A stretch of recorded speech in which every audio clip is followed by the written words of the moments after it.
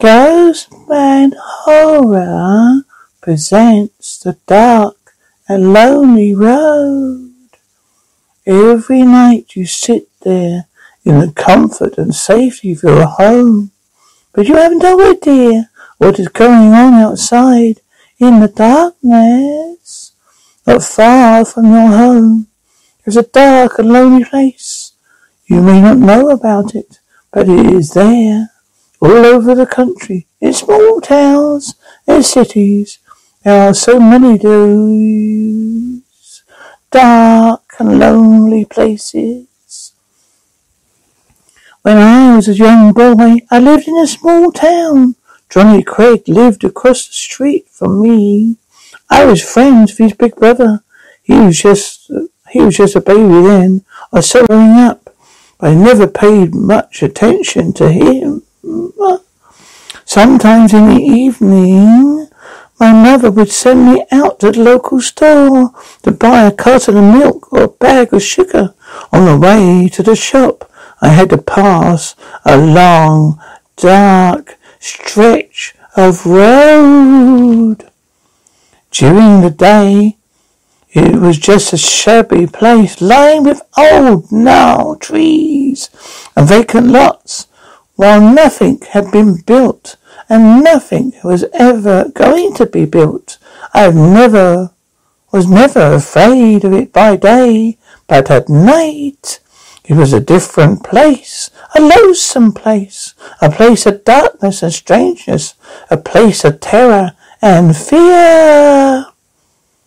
There was no were no houses nearby, no street lights. It was pitch black as dark, black as black could be, dark as the deepest night.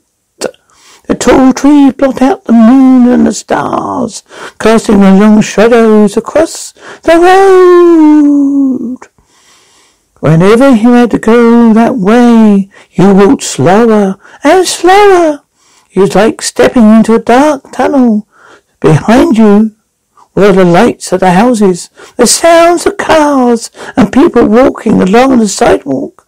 Ahead of you, there was just a long, lonely stretch of darkness in which every, anything could be lurking. Anything at all. Every time I had to pass that night, place at night, I would dread it. I kept hoping ever some, someone would come along so I wouldn't have to walk alone. But nobody ever came. As I walked along the dark stretch of the road, I would keep my eyes fixed the, on the trees, half expecting to see something or someone lurking there in the darkness. Perhaps it was the bogeyman. My mother had often told me about the bogeyman and how he waited in dark places for boys and girls who strayed from the path. Perhaps as a trail predator. My mother has always warned me about evil men who try to lure children with the promise of candy and puppy dogs. Perhaps it was something else. Something worse. Out of the corner of my eye, I would catch of misshapen figures crouching there in the dark, pitch dark, waiting for the moment when they would burst forth and pounce on me.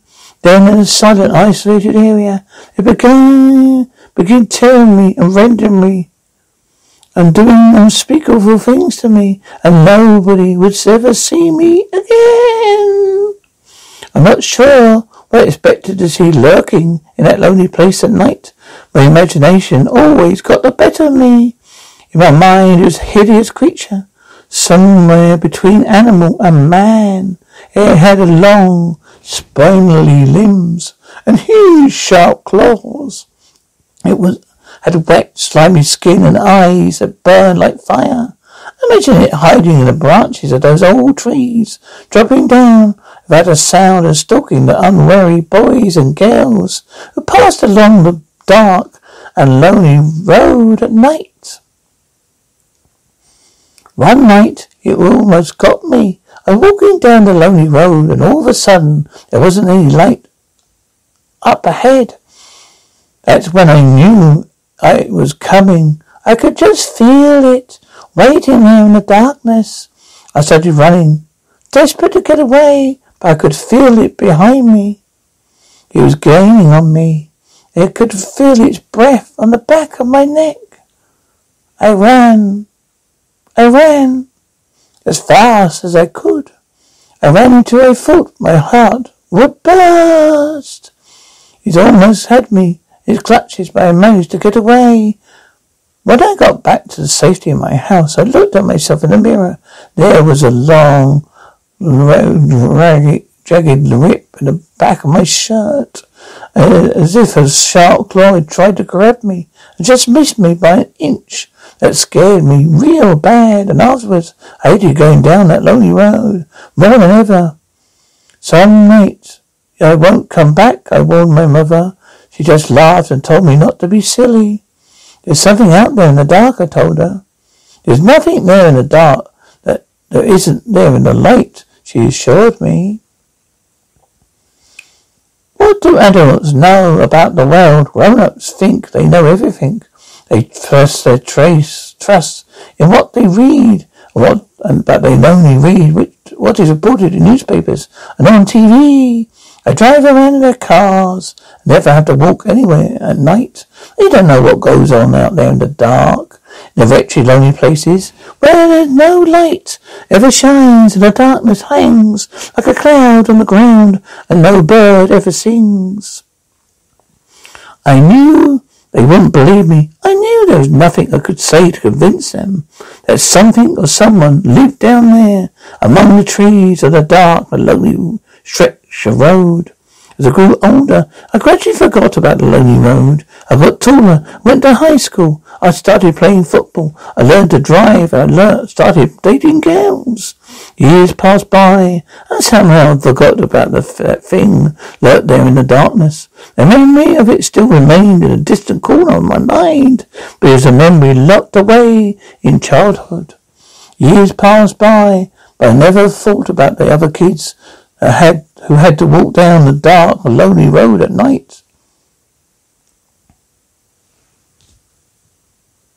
Three days ago, Johnny Craig went missing. He lived across the street from me. I was friends with his big brother. He was just a baby then. I saw him growing up, but I never paid much attention to him. Not until he went missing.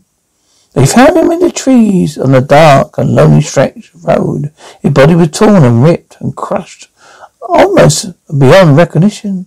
The police said he'd been mauled by some kind of animal. The moment I heard about it, I knew what happened. Johnny Craig had been murdered by the thing my childhood fears had created. The thing I conjured up in my imagination. I left it out, it on the dark, a lonely stretch of road. I left it there to wait to, for some scared little boy who happened to be walking home one dark night. A little boy who couldn't run as fast as I could run. After that, the town cut down the trees and put up street lights. The stretch of road isn't dark or lonely anymore. The thing that lurked there is gone now. It's gone somewhere else where people are unexpecting to, to some other small town. A small town like yours where it'll wait again just as it did here. You'd wait for some other frightened little boy or girl to come along. It's only a matter of time.